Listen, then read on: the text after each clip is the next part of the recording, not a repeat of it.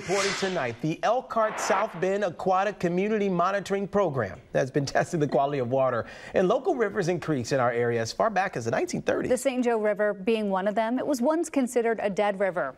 But that has changed over the years. Our Erica Jimenez joins us live with more. Erica, tell us about it. Yeah, Lauren and Josh, today the focus point isn't whether you can fish at the St. Joe River or not. People have been doing that for years. It's about the improvement in water quality, and we know this thanks to data collected. There's life at the St. Joe River, and lots of it, but this wasn't the case years ago. The river has seen gradual improvements in water quality over the years. But how do we know this? Well, today the Elkhart South Bend Aquatic Community Monitoring Program was out here testing exactly that.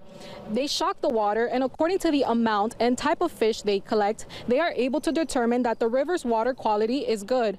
And no need to worry, the fish and turtles are released back into the water after the data is collected.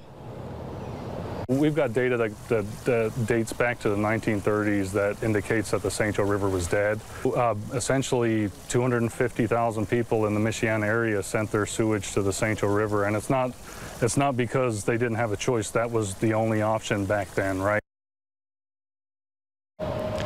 The group is composed by aquatic biologists and college interns. They come out here twice a year, every three years. For now, reporting on this beautiful day in South Bend, Erica Jimenez, 16 News Now.